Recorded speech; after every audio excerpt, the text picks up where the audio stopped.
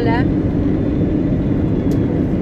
Todavía recién va a aterrizar el avión. Será 10 será 10 minutos, ¿ya? Será 10 minutos.